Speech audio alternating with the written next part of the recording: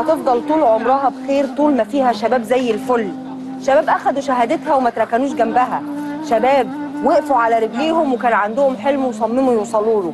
زي محمد اللي إحنا جينا له هنا في السيدة زينب علشان ناكل من عنده أحلى لقمة جبنة قديمة. محمد إزيك؟ الله يسلمك. منور أهالينا. ربنا يخليك أنتوا منورين. اولا عرفنا بنفسك.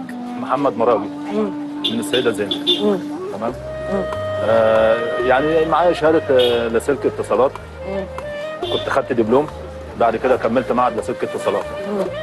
بس بعد كده اشتغلت مع ناس كنت شغال في مطعم وكده وبعد كده أيوه. كملت. أنت ابتديت حياتك العملية من وأنت طالب بتدرس. من وأنا اشتغل طالب وإحنا آه. بنتكلم؟ من وأنا طالب. من وأنت طالب. كان. عندك كام سنة لما اشتغلت في أول مطعم؟ يعني كنت في إعدادي. إعدادي. كنت في إعدادي. كنت بتشتغل فيه إيه بقى؟ بالبيت تمام. بالبيت كنت شغال في مطعم. آه.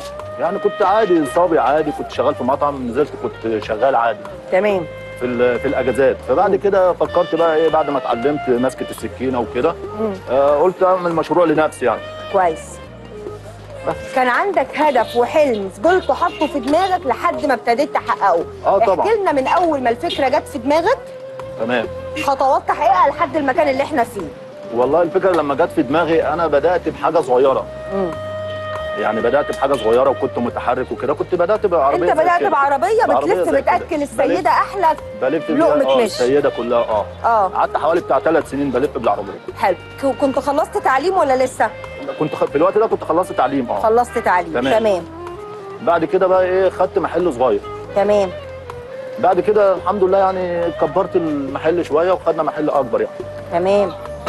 طيب احكي لي بقى على يعني انت النهارده راجل كان معاك تعليم متوسط وبعدين كملت عالي تمام. فبقى في إيدك شهاده. تمام. كلمني بقى على دور الاسره والناس اللي حواليك.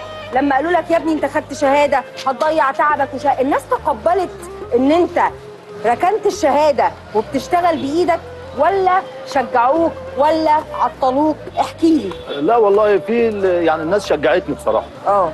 في يعني أغلبية الناس شجعتني. أهلك وقرايبك؟ على آه بالظبط. أهلي وقرايبي كده كلهم يعني. مم. شجعوني على إن أنا أشتغل وأكبر وكده. طيب أنت ابتديت بطبق مش زي ده وعربية بتلف بيها. تمام. احكي لي بقى كل مرحلة اخذت منك وقت قد إيه؟ يعني مرحلة سندوتشات المش في العربية قد إيه؟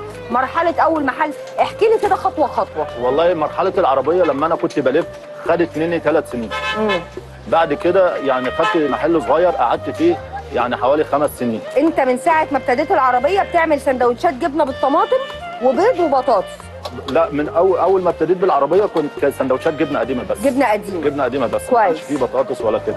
بس تمام. اشتغلت بطاطس لما خدت محل. حلو.